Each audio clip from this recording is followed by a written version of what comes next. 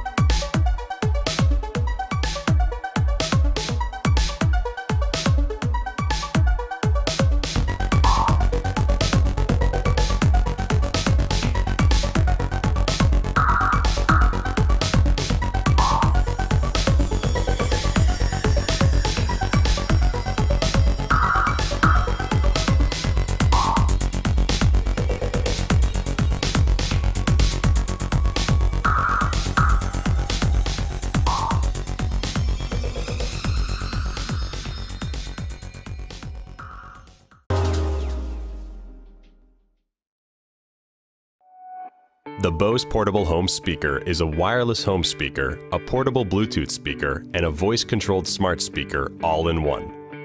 In this video, we'll help you unbox and set up your speaker. Let's begin by carefully opening the box and confirm the following parts are included.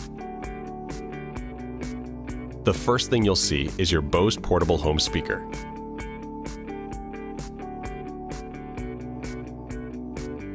Underneath this divider is a quick start guide and important safety information.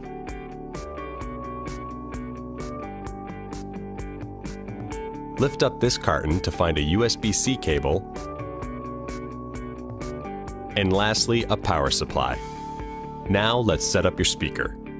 Begin by connecting one end of the USB-C cable into the power port on your speaker. Connect the other end into the power supply and then plug it into a power outlet. Please note, you can also charge your speaker with the optional Bose Portable Home Speaker Charging Cradle accessory. The power light will pulse white to indicate it's charging.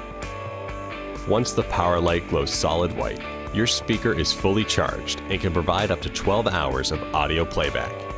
For the most functionality, we recommend downloading the Bose Music app from the Apple App Store or the Google Play Store.